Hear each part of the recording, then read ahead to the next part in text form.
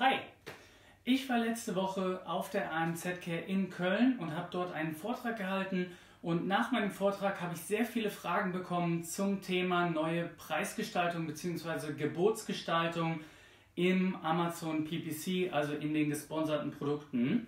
Dort gibt es jetzt seit kurzem verschiedene Möglichkeiten, wie du die Gebote aussteuern kannst. Von daher möchte ich einfach heute mal ganz kurz erklären, wie das funktioniert. Du kennst es vielleicht von früher oder von dem, äh, wie es 2018 noch die ganze Zeit war. Du kannst einfach für jedes Keyword, das du hast, ein Gebot hinterlegen und Amazon reguliert das Ganze dann selber. Das heißt, so sieht das Ganze aus.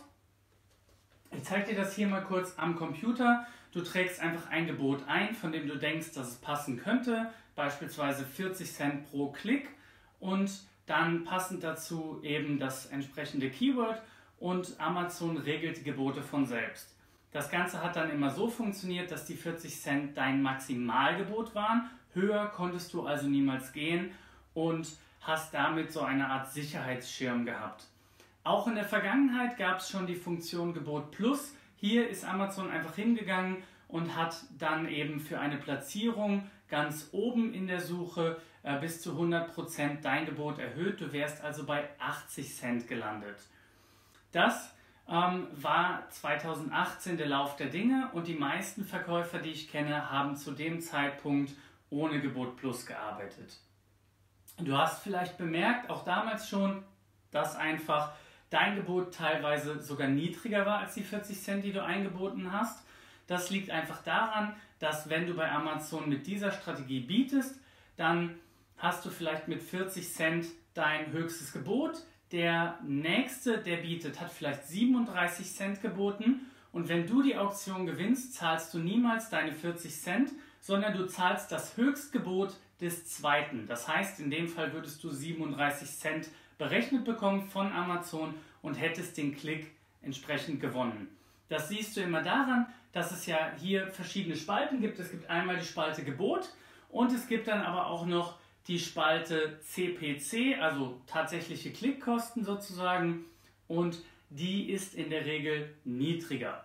Wenn du Gebot Plus aktiviert hattest, kann diese Spalte tatsächlich, also die tatsächliche Klickpreisspalte, sogar teurer sein als dein Gebot. Das möchtest du natürlich vermeiden, weil es hier wirklich super schwierig wird, auch den Arkos unter Kontrolle zu halten. Jetzt gibt es mittlerweile drei verschiedene Optionen und die erste Option, die du hast, ist dynamische Gebote nur senken. Das ist sozusagen die Default-Einstellung, also die Voreinstellung auf Amazon und so war es in der Vergangenheit auch schon. Das ist genau das, was ich gerade erklärt habe. Amazon würde hier von deinem Gebot aus nur senken, aber niemals deine Gebote erhöhen. Das heißt, du kannst ganz klar einen ARKOS definieren, den du haben möchtest. Wenn du dir das Ganze ausgerechnet hast und sagst, okay, mehr als 40 Cent kann ich mir auf keinen Fall leisten, dann bist du hier auf der sicheren Seite, wenn du das machst und alles andere deaktivierst. Zweite Option ähm, wäre dynamische Gebote erhöhen und senken. Das heißt, Amazon gibt hier an, dass wenn es äh, sich lohnt und wenn es funktioniert, wird es weiterhin deine Gebote senken. Aber falls die Chance besteht auf einen höheren Verkauf oder auf eine äh, bessere Verkaufschance, dann wird Amazon auch dein Gebot erhöhen. Das Problem hierbei ist, das funktioniert vollautomatisch. Du gibst die komplette Kontrolle an Amazon ab und du weißt nicht, ob Amazon das gut macht sozusagen. Das bedeutet, diese Option ist potenziell gefährlich, ist ein Ersatz für das vorherige Bit Plus sozusagen und ähm, du kannst hier äh, nur rumprobieren, weißt aber nie so ganz genau, ob das funktioniert und was es mit deinem Arkos macht. Die Grenze hierbei liegt bei 100%. Das heißt, du musst dein Gebot so einstellen, dass auch bei dem Doppelten von dem, was du eingestellt hast, du immer noch profitabel wärst. Natürlich kannst du hier auch testen und kannst einfach sagen, ja, okay, ähm, ich probiere das mal ein bisschen aus und lass es mal zwei Wochen laufen und dann werte ich das Ganze nochmal aus und gucke, was passiert. Aber potenziell kann dich das natürlich Geld kosten. Diese Einstellung, ähm, da gibt es dann noch eine dritte Variante.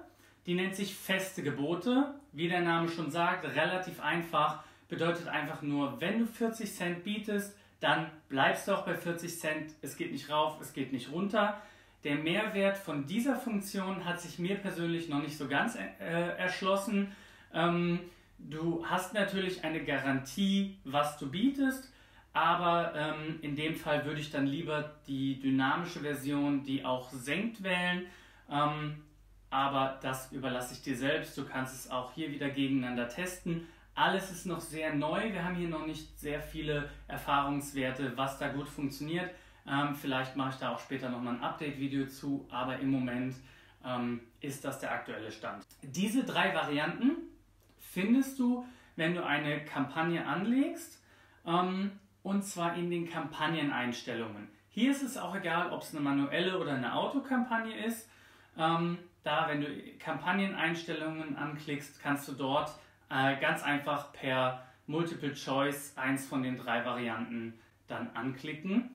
Die normalen Gebote, wie du es kennst, trägst du wie bisher auch in der Anzeigengruppe dann ein. Und diese drei Einstellungen hast du aber eben nicht auf Anzeigengruppenebene, sondern wirklich nur auf Kampagnenebene. Dann hast du hier noch die Möglichkeit, das Ganze natürlich über das Kampagnenbudget zu begrenzen oder wenn du Portfolios nutzt, ähm, dann auch über diese Schiene dort äh, mit einem begrenzten Budget zu arbeiten. In der Kampagneneinstellung selber kannst du noch weiter runter scrollen. Da findest du dann nochmal zwei weitere äh, Felder zum Ausfüllen diesmal. Und zwar kannst du dann entweder dich auf der ersten Suchergebnisseite anzeigen lassen oder auf Produktdetailseiten und hast hier die Möglichkeit, dein Budget ganz gezielt dafür nochmal anzuheben. Beziehungsweise nicht dein Budget, sondern deinen Klickpreis. Hier kannst du Prozentwerte eintragen zwischen 0 und 900 Prozent. Die werden zu deinem Klickpreis dazu addiert. Also wenn du 40 Cent ähm, zum Beispiel als Gebot eingestellt hast und trägst hier 100 ein, dann kommt deine 40 Cent nochmal 100 Prozent obendrauf und du wärst bei maximal 80 ähm, Cent, die du dann bietest. Bei 200 Prozent wärst du dann zum Beispiel bei 80 Cent plus 40 Cent, also 1,20 Euro in dem Fall. Und dann bietet Amazon eben diesen höheren Preis, wenn die Chance besteht, dass du auf der ersten Suchergebnisseite angezeigt wirst oder auf der Produktdetailseite selber, da wo vielleicht vorher auch die PDAs zum Beispiel waren oder eben in den gesponserten Produkten ähm, unter den äh, Stichpunkten quasi, äh, die da angezeigt werden auf der Produktdetailseite.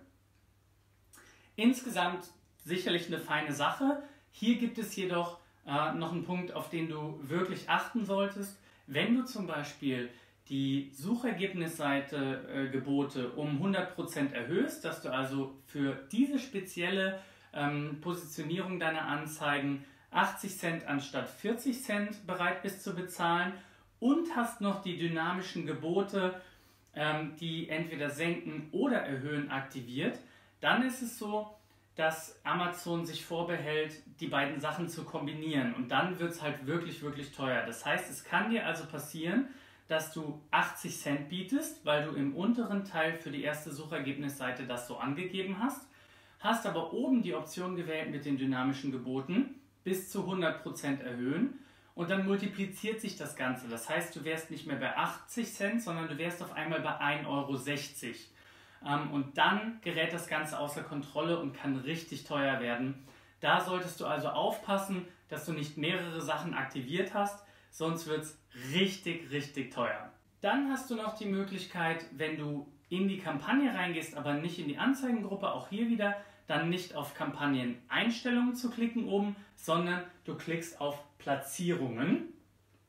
Und dann äh, siehst du folgende Maske. Und in dieser Maske ähm, kannst du auch wieder dasselbe regeln, was du in den Kampagneneinstellungen im unteren Teil regeln kannst. Das heißt, du kannst hier ähm, dein Gebot erhöhen für die erste Suchergebnisseite, du kannst dein Gebot erhöhen für die Platzierung auf den Produktdetailseiten und dann gibt es noch ein Feld ähm, sonstige Positionen, also quasi alle anderen Anzeigen, da kannst du im Moment noch nichts eintragen. Wenn du es in dieser Maske einträgst, über den Reiter Platzierungen, hast du einen wirklich großen Vorteil, wenn es sich um eine ältere Kampagne handelt. Das heißt, wenn du vielleicht eine Kampagne aus 2018 noch angelegt hast, die auch schon Umsätze gefahren hat, dann bekommst du hier nämlich die Umsätze und die ARKOS-Werte angezeigt. Und zwar pro Positionierung. Das heißt, ich kann in meine alte Kampagne reingehen, ich kann mich dort einloggen und kann sagen, ah, okay, ähm, auf der ersten Suchergebnisseite habe ich immer mit 10% ARKOS konvertiert, auf der Produktdetailseite allerdings mit 35% ARKOS und bei den weiteren Positionen vielleicht mit 20%. Dementsprechend kann ich dann meine äh, Gebote einfach anpassen und kann sagen, alles klar, 10% ist ja mega gut. Hier erlaube ich mir jetzt einfach mal den Klickpreis um 100% zu erhöhen. Beobachte das Ganze natürlich über mehrere Tage und Wochen und teste es einfach mal aus.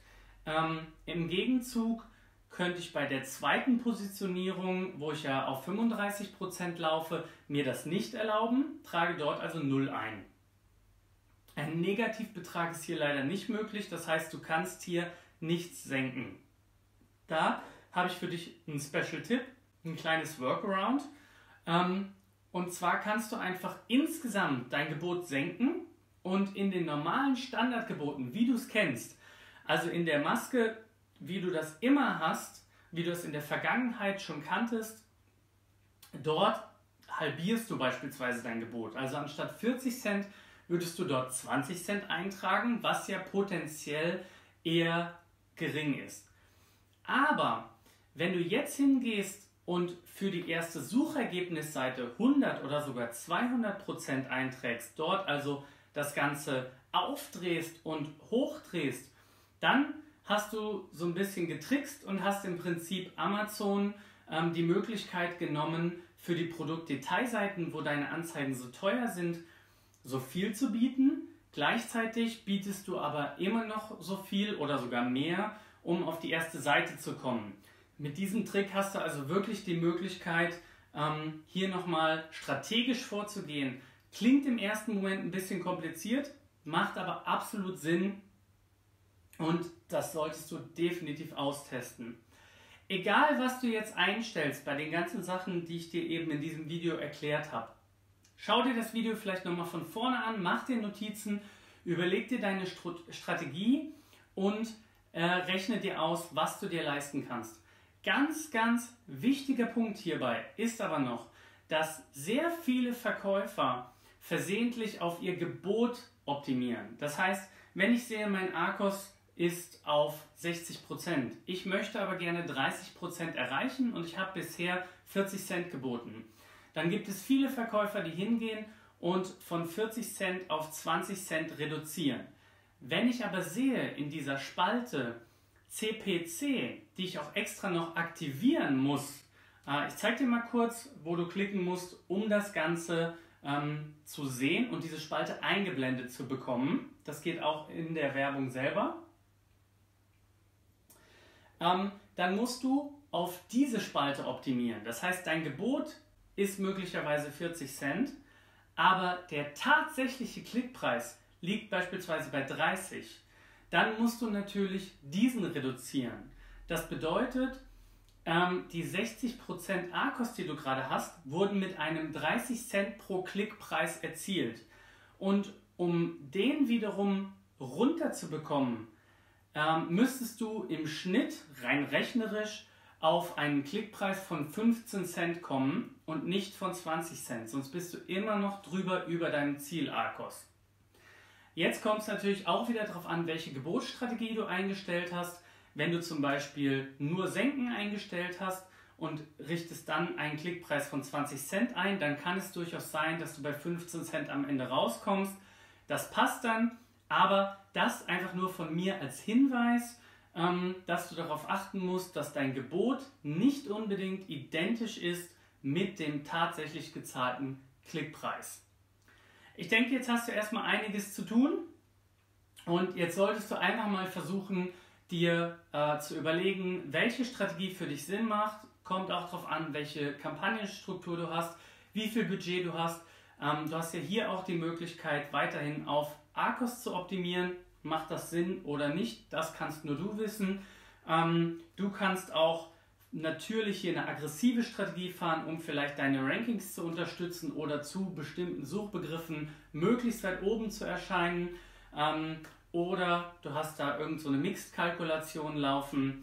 Wie auch immer, überleg dir einfach, was für dich persönlich Sinn macht und wie du hier äh, verfährst. Ich habe dir jetzt erklärt, wie du auch mit derselben Strategie wie letztes Jahr noch arbeiten kannst und ich hoffe, du hast verstanden, wie die neuen Möglichkeiten funktionieren und kannst dir das Ganze mal anschauen und hoffentlich auch gut umsetzen. Wenn du das machst, hast du definitiv einen Vorteil gegenüber vielen anderen Händlern, weil diese Strategie wirklich brandneu ist in 2019 und so gut wie nicht genutzt wird. Von daher, hau rein, viel Erfolg. Wenn du Fragen hast, mach dir gerne einen Telefontermin mit mir, komm auf meine Seite, trag dich ein und wir quatschen einfach mal drüber, ähm, was ich für dich tun kann. Und ansonsten, wenn du Fragen hast, gerne in den Kommentaren. Ähm, hinterlass einen Kommentar mit deiner Frage oder schreib mir eine E-Mail an philipp.ammerklick.de und ich werde es in zukünftigen Videos gerne berücksichtigen. Bis dann!